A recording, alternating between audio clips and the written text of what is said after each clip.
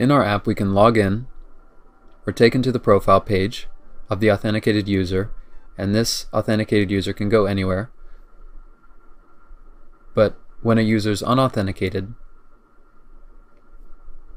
and they try to go to the profile page, they're successfully able to go there. And as a result, we get a 404 error. And this makes sense. Obviously, we can't get an unauthenticated user's profile. So we want to make this profile page a protected route. Only authenticated users should be able to see it.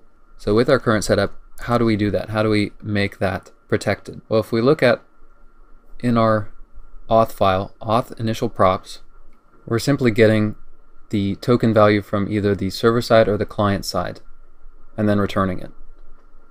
Let's make use of this second function and provide a parameter to it called isProtectedRoute. If we have a protected route, if we're passing in a value of true to this parameter, and let's just jump ahead and do that. So to profile, we'll pass in a value of true for our is protected route argument. And we'll say within auth initial props, if we have a protected route, we want to redirect the user, we want to return early from this function again, redirect user.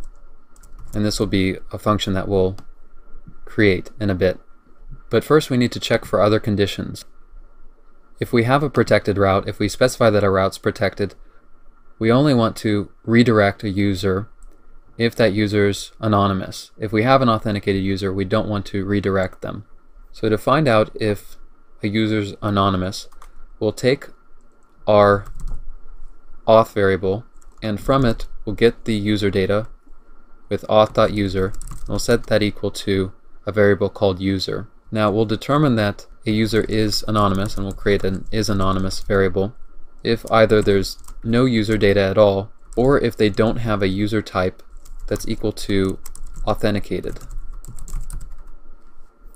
Remember, of course, when we created our cookie, we had this auth user type variable, which is set to the string authenticated.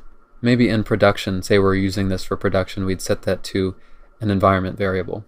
So we'll redirect only in the case that we have a protected route and the user is anonymous. And we also don't want to redirect if they're already on the path that we want to redirect them to. So if they're unauthenticated, if they're anonymous, we'll want to take them to the login page, to the login route. So we'll also create a variable called current path, which will check to see if there's a request. If there is a request, we can just take the URL property from the request to figure out where we are in the app. Otherwise, if we're in the browser, we can say window.location.pathname.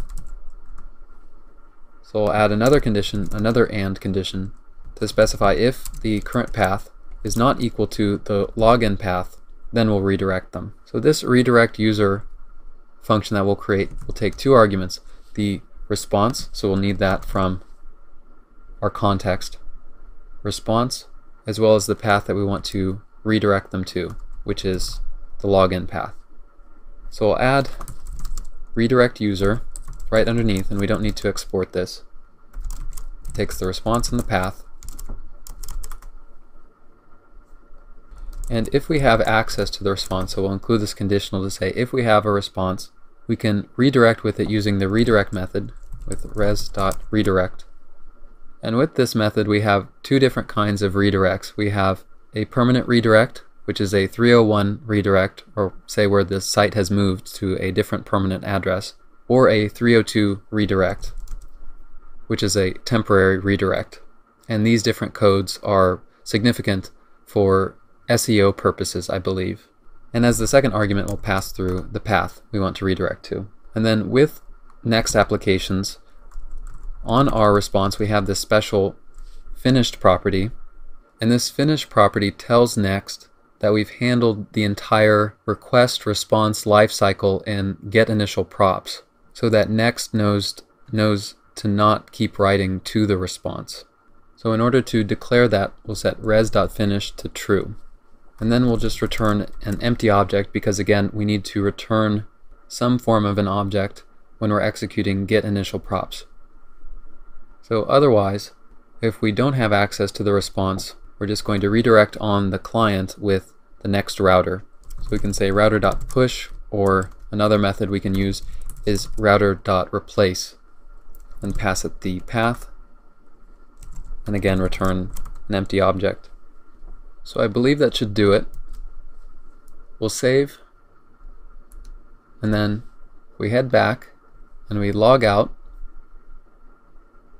and we go to home and as an unauthenticated user we try going to the profile we're automatically kicked back to the login page and if we try typing in the profile route manually we're kicked back to log in there as well.